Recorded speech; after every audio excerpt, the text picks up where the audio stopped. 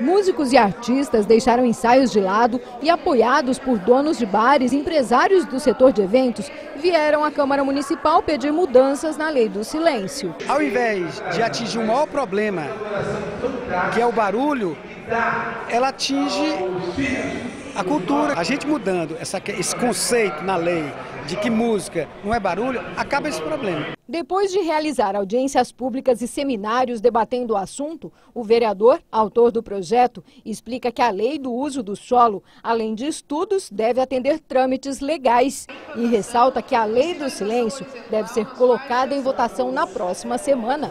Mas isso não garante o atendimento a todas as reivindicações dos músicos. Fazendo com que a medida do denunciante, ou seja, alguém que ligou reclamando do som alto, que essa medida seja feita do local da reclamação e não do local que está saindo o som. De acordo com eles, por causa das deficiências na legislação, no último fim de semana, fiscais da prefeitura fecharam estabelecimentos que estariam desrespeitando a lei com apresentações de música ao vivo. Eles ainda ressaltam que depois de exportar artistas e músicos, agora Campo Grande vive movimento inverso, perdendo eventos, negócios e visibilidade. Sábado agora é a gravação do show do Maior de Mariana em Presidente Prudente. Era um show que era para ser realizado aqui. Há uma Avenida Bom Pastor, a Avenida Bandeirantes, a Brilhante, a Vitório Zeola.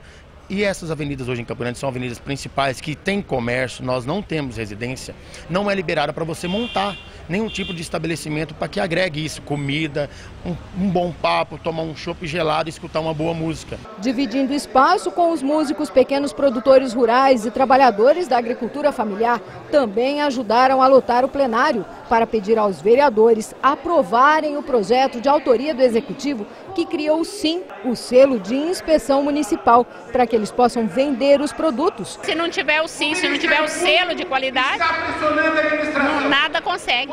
Até por conta disso, eles não podem né, colocar os seus produtos dentro do mercado. E a partir dessa aprovação, eles podem fazer isso. Nosso projeto foi enviado no mês de novembro de 2013 e a nossa expectativa é que hoje ele seja votado por unanimidade. Mas ao contrário da movimentação de parlamentares da casa. No início da sessão, ao fim, o projeto acabou não sendo votado por falta de número suficiente de vereadores. E esse é mais um capítulo da queda de braço entre a Câmara de Vereadores e o prefeito Alcides Bernal.